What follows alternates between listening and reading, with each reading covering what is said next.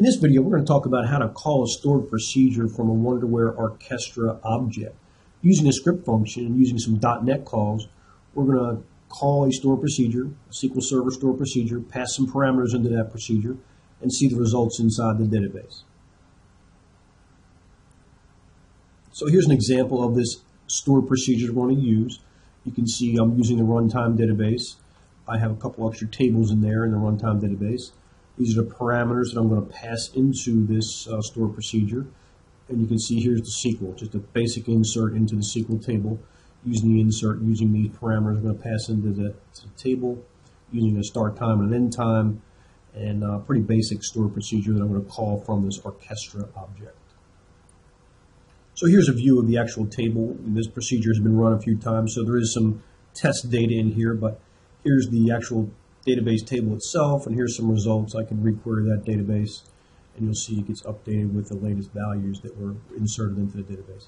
So let's take a look at the script function and see how we're making the call to this store procedure.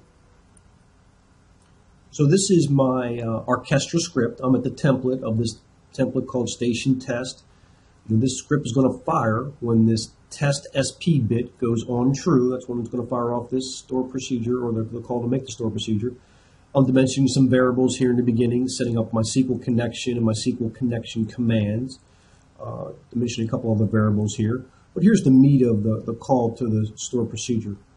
So what I need to do is I need to create my SQL connection pointing to my local server, give it the name and the database that I'm going to try to log into here. I'm going to open that connection. This is where I'm telling the actual name of the store procedure that we previously looked at. So I'm just filling in this variable called squery that's going to pass in that parameter into the uh, .NET function call that's going to make the call to the store procedure.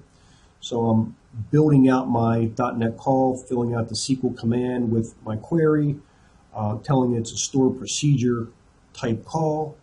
These are the parameters that I'm going to pass into that store procedure that we saw inside the store procedure, this Titan serial number as a parameter. So I need to uh, do the following lines of code here to pass that parameter in. I'm passing another parameter in here called test station, right? And then I'm just putting a little log message here to let me know if I have any errors. I'm going to be able to go look into my logger to, to see what the status is. And then here's where I'm ex executing the query right here. And, and it's going to return the rows affected. And I'm going to close out that SQL connection once I execute the query. And I'm just going to do a little log message into the logger to make sure that uh, everything went successful. So let's give this a test. I'm looking here at Object Viewer. I have my parameters I'm going to pass into the store procedure called test station and the Titan's serial number. So I'm just going to double click on that inside the Object Viewer. I'm going to change that to give it a variable of you know, 7654321. I'm going to apply that. I'm going to give this uh, the site Titan serial number here one, two, three, four, five, six, seven, eight, nine. Apply that. So I'm going to execute this stored procedure. We're going to check the database and see if those values show up in my database. So the way I fire off the, the actual script that's going to trigger the stored procedure is setting this bit to a 1. So I set this thing to a 1. I apply it. it's going to be executing my stored procedure as we speak. Just going to set it back to false. So let's go take a look at the SQL database table itself and see if it put in these parameters into my database. So now I'm sitting here looking at my table where I was trying to insert some information from that stored procedure. Let's do a refresh of this query and uh, go back and look and sure enough, there's the data right there that we put into that user-defined data type inside the Archestra object. And you can see it has a timestamp of 1750, which is uh, right about now. Let's go do that one more time just because that was that was fun. We're going to go here. We're going to change this to another number. We'll make it 55555. Apply that. Okay. We'll make this one 99999. Apply that. Okay. We're going to fire off our script by setting this bit here. Apply that. Okay. Let's go back and look at my database table. We're going to do an execute.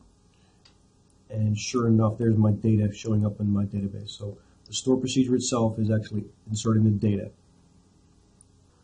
So to recap, we're inside an Archestra script called test SP. We're going to fire off this test SP when this bit goes true. and we're going to make the .NET function call here to call this stored procedure. Right? We're going to set up the .NET function call. We're going to give it some parameters. We're going to give it the SQL connection.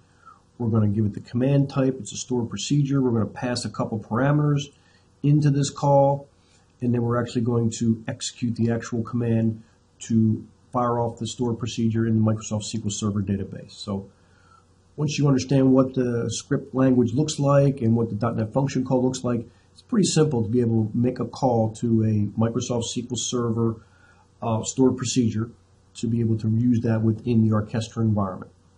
Thank you for listening. Need to learn more about this and other InSource products? Check out our training tracks designed to guide you down your learning path for InSource products. Whether you're using a classic InTouch and Historian architecture or using System Platform, we have a track to help you get the most out of your software investment.